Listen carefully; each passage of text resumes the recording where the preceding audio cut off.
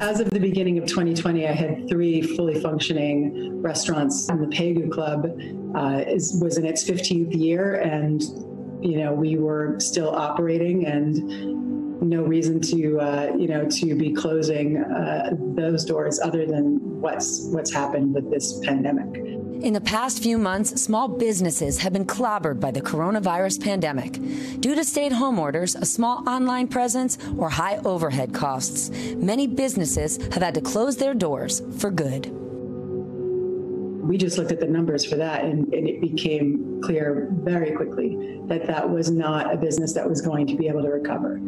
Uh, and so we just saved ourselves a lot of time and agony and gave it a very sad and unceremonious, you know, goodbye. And it makes us angry, you know, for for not just the business that we had to close, but for the the interruption of the success that we were experiencing from decades of hard work. And we are very good at what we do. And uh, it's it's devastating and it's sad and it it makes me angry to lose all of this overnight. Many others could face the same fate. According to a survey by Main Street America, 7.5 million small businesses are at risk of closing in the next five months. The four business owners we spoke to employed 30 people. Now they're out of work.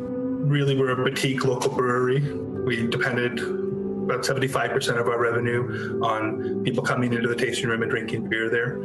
It was pretty obvious to us, given the challenges that we already faced, that there was no way our business was going to survive this. It was a relatively easy decision for us to make. You know, e- even though um, everyone is either laid off or furloughed at this point, um, I'm keeping an eye open to see how I can help uh, them survive. I, regardless of whether I'm running a business, I want to make sure that everyone's okay. So I own an uh, and small wedding company in Savannah, Georgia. We had a space called the Savannah Cozy Chapel where we did very small weddings, um, license signings, um, groups of 20 or less who wanted to celebrate um, in private in a specific kind of place.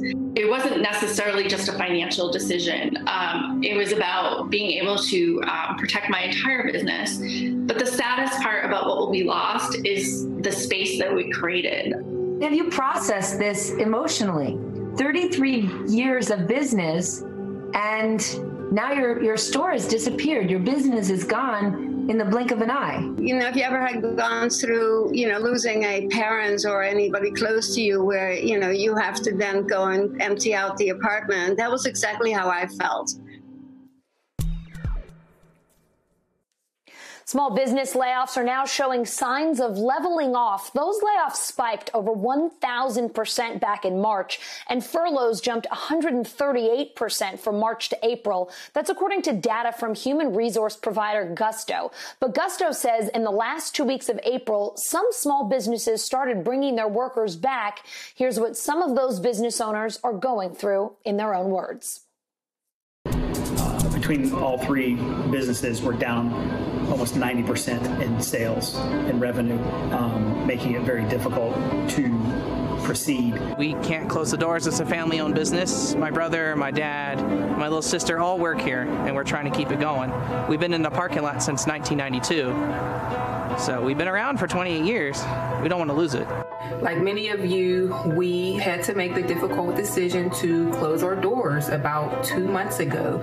We actually made the decision before the orders were put in place by our um, our governor in the state of Pennsylvania, and we made that decision just because there were so many things out of our control. We've um try to hire back as many of our employees as possible. Um, some don't want to come back yet. They feel it's uh, too soon. They're, they do not feel safe enough.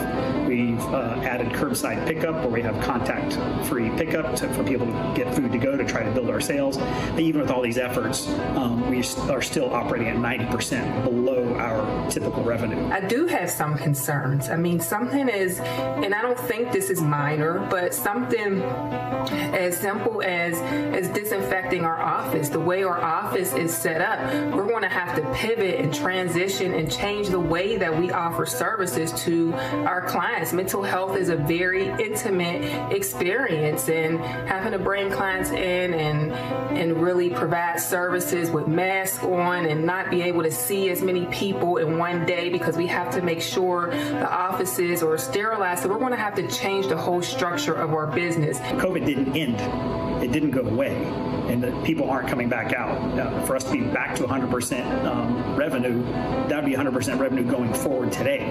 That does not make up for the uh, 186% of revenue that we've lost since March 8th. So we need a, you know, a, a broader vision, a bigger vision, and how to actually bring this back together and truly save the small business. Without it, the small businesses are going to disappear.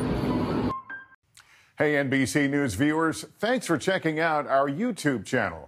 Subscribe by clicking on that button down here and click on any of the videos over here to watch the latest interviews, show highlights, and digital exclusives. Thanks for watching.